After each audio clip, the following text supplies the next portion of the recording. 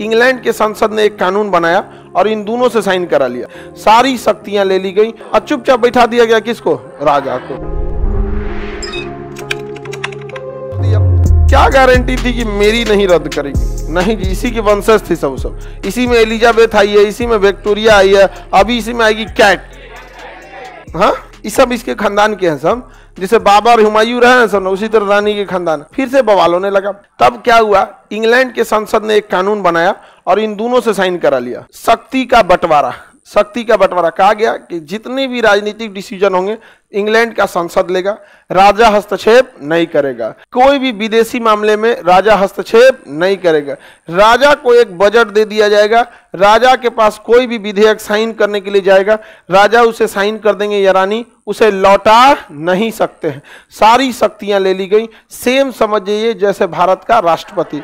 हमारे यहाँ जब राष्ट्रपति का पद बनाया रहा था तो यहीं के महाराजा से ले लिया गया, महाराजा और रानी से। क्योंकि जो जो शक्तियाँ हमारे राष्ट्रपति को, वो सारी शक्तियाँ किसके पास? इंग्लैंड की रानी के पास समझ में आ गया कि नहीं आ गया? तो शक्ति का क्या कर दिया गया? स्पष्ट बंटवारा कर दिया गया। इंग्लैंड, कभी भी राजा संसद पे किसी भी प्रकार का दबाव नहीं डालेगा। कभी पार्टी फ़ंक्शन के लिए बुला सकता है, राष्ट्रपति भी बुला लेते हैं, पार्टी उटी फ़ंक्शन वंक्शन के लिए क्या कर लेते हैं? बुला लेते हैं। कब फ़िल्म चला दिए देखने के लिए। समझ में कि, चलो फ़िल्म देखो जी सब लोग। मुगल गार्डन है, उसका नाम हो गया अमृत उद्यान, और उसमें कभी लिट्टी चोखा लगवा दिए। सब लोग खाओ लोग। बस यही सब राष्ट्रपति का क्या रहता है काम? ज़्यादा काम सब किसका रहता है? प्रधानमंत्री का। आगे बढ़ जाए। तो किसी को दिक्कत? इंग्लैंड की क्रांति का क्या प्रभाव रहा? तो ध्यान से समझिए, राजा तथा संसद के बीच विवाद को क्या कर दिया गया? समाप्त किया गया। राजा को औपचारिक प्रधान बना दिया गया, जबकि संसद को वास्तविक बता, राजा एवं संसद के बीच अधिकारियों को निर्धारित कर दिया गया। घोषणा पत्र क्या आया था 1869 में?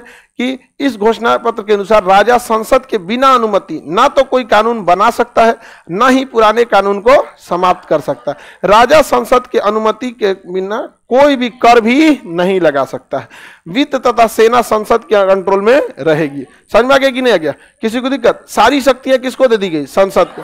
और चुपचाप बैठा दिया गया किसको? राजा को। अब राजा रानी के लिए एक बजट है, उनको जो करना है कर सकते हैं। अच्छा खासा अरबों खरबों रुपए खर्च होते हैं। हमारे राष्ट्रपति भी तो खर्च होता है। उनका पूरा जहाज़ आता है, पूरी स्कॉट आती है जहाँ जाते हैं।